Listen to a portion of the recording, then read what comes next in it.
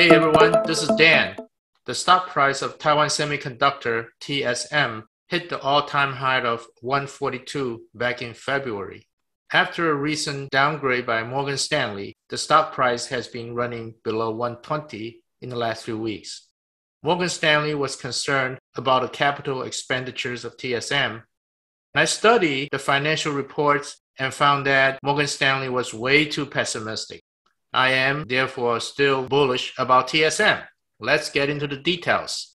First of all, let me review my price target for TSM in my May 27th video. At the time, I set the target at $160 a share by the end of 2021.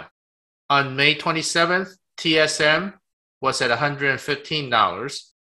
Today is July 12th, and the last trading day was last Friday, July 9, and TSM closed at 120.65. Definitely the price moved in the right direction that I predicted, although it's still quite a distance from my target of 160. In light of what's been happening lately, especially with regard to capital expenditures, will we need to set a new price target? I will explain more in the next few minutes. There are three main events that have been affecting the stock price of TSM. Number one, it's a recent drought in Taiwan. And as you probably know, most of the manufacturing facilities for TSM are located on the island of Taiwan. And also, there's been a recent surge of COVID cases in Taiwan. And then there's this proverbial capital spending concerns. Let's look at them one by one. On April 20th, it was reported that there's been a very severe drought on the island of Taiwan. Actually, it was the worst drought in 56 years and the government started to restrict water usage for farmlands, residential buildings, and even businesses. Although the production operations at TSM never got interrupted, even during the worst period of the drought.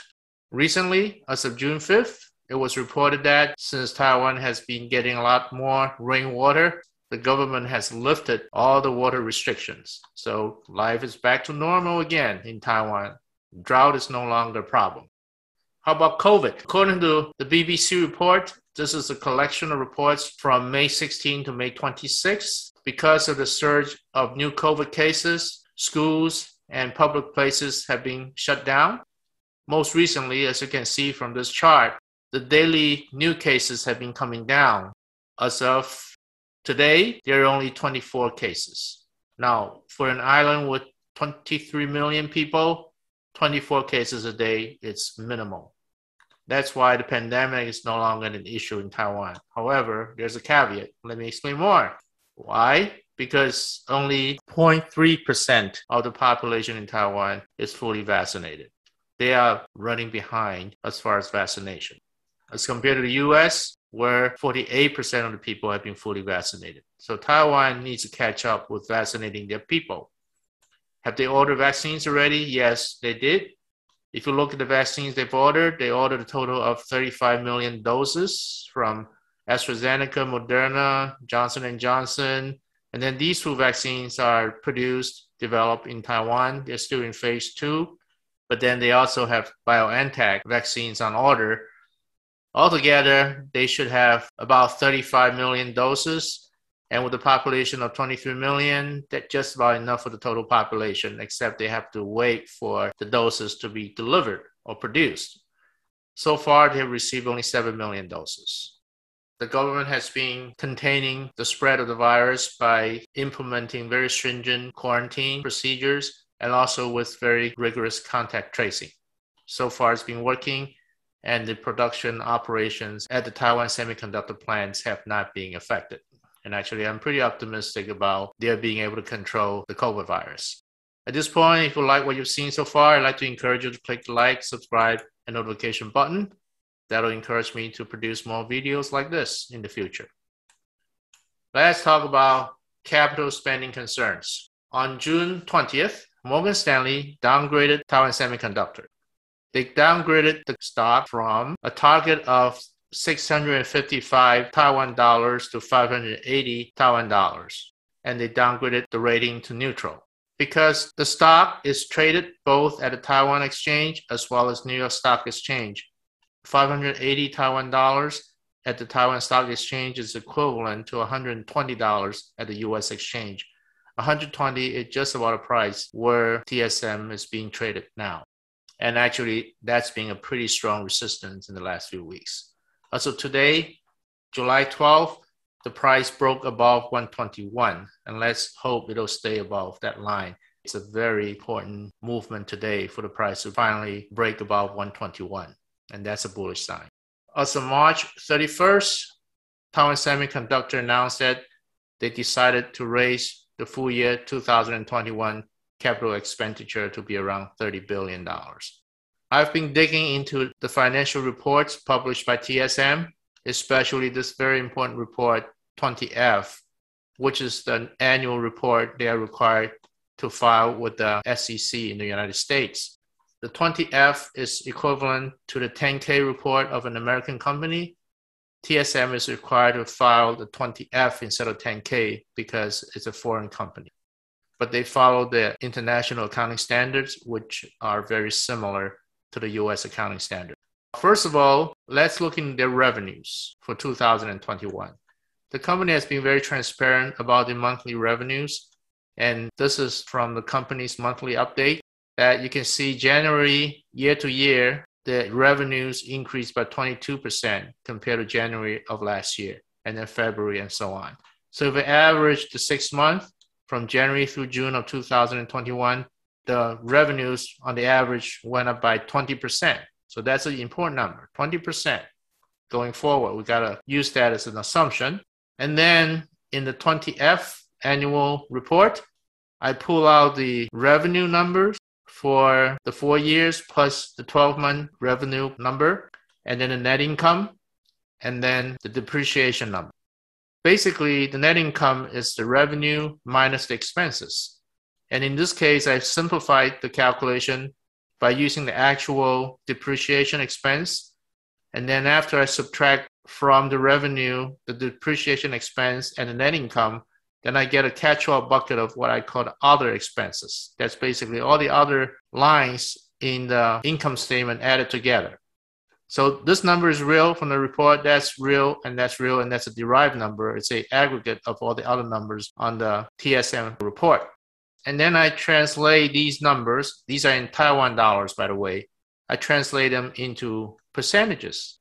If the revenue is 100%, then we can factor in these three. They should add up to the revenue, the expenses, and the income. And that's why for the most recent 12 month period, the depreciation is 26% of the revenue, and the other expense is 35.5% of the revenue, and net income is 38% of the revenue. And this 35.5% is pertinent. We'll be using that number later on. I'll talk more about that. And finally, let's look at depreciation and amortization.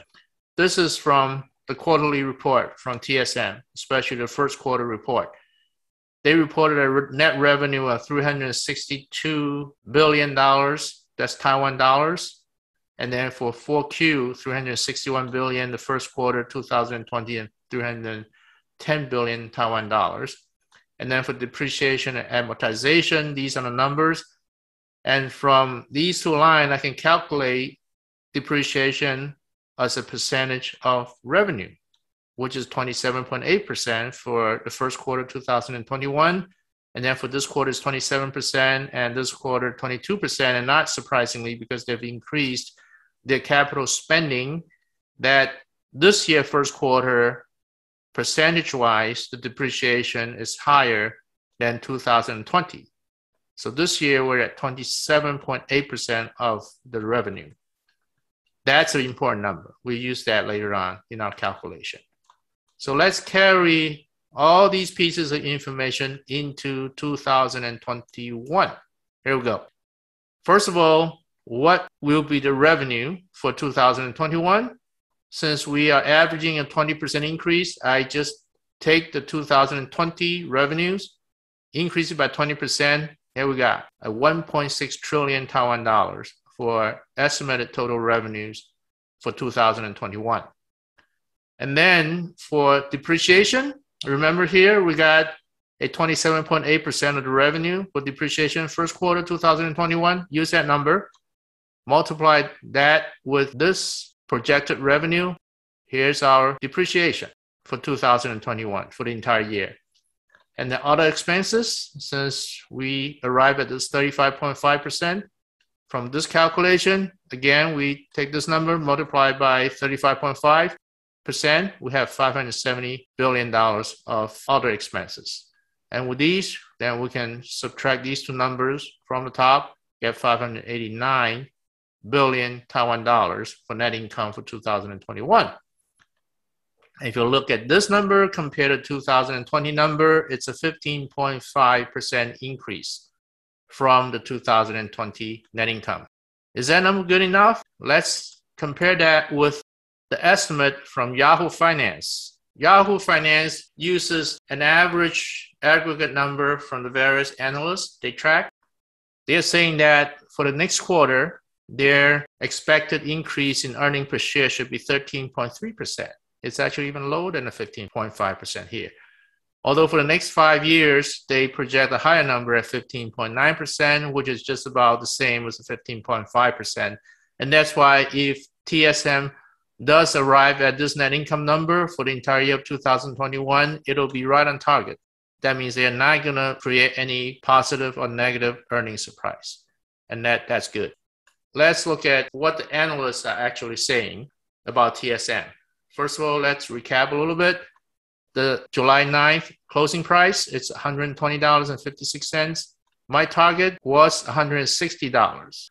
That might be subject to change. Yahoo Business gives them a buy rating, 1.9 out of 5, which is a good rating. The smaller the number, the better. The high target is 177, definitely way above the 120, even above my 160. Average target 140, low target 105. Louis Navellier, an overall B rating, which is a buy rating, pretty positive. TipRanks.com, it's a moderate buy, high target 150, average 127, low 105. And then CNN Money, it's a buy rating, high 200, medium 147, low 105. The Street.com is a buy rating, target is 154.7. All these targets are higher than the Morgan Stanley target of about $120. And that's why I do believe that Morgan Stanley has been too pessimistic about TSM. What's my own calculation? I took all the leading semiconductor companies, lined them up, and looked at their P ratios, and decided that an average forward P ratio of 27 is reasonable for Taiwan Semiconductor. And incidentally, the current P ratio is 32.65. So 27 is a very reasonable assumption. Actually, it's on a conservative side. The earning growth is 15.9%, and that's from Yahoo Finance. Remember, my calculation earlier was 15.5%, 15.5, 15.9 is about the same. So using these two assumptions, then I start to use the 2020 financial figures for TSM. I apply the P ratio and the earning growth then I arrived at the stock prices for 2021, 22, and 23. And with these three numbers, I decided it's reasonable, actually very conservative, if I set the price target to $140 to be reached by the end of October 2021.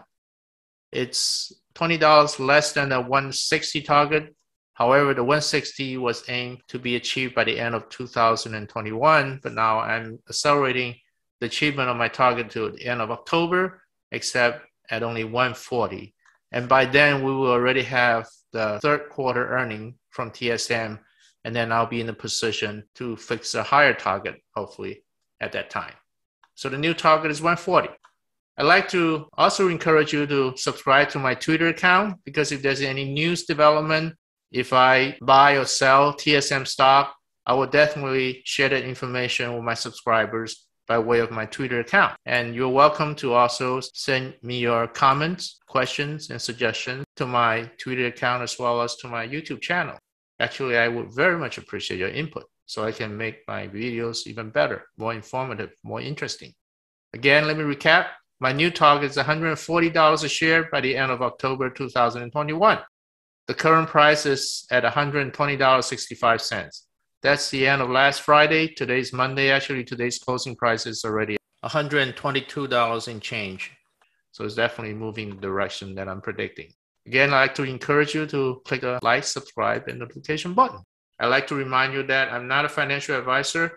I share my stock trading strategies for educational purpose only. If you want to buy or sell stocks, you should make your own decisions and you should definitely consult with your financial advisors before you do so. This is about the rest of my video for now. I will chat with you again in the next few days. In the meanwhile, I'd like to wish you the very best of luck with your financial investments.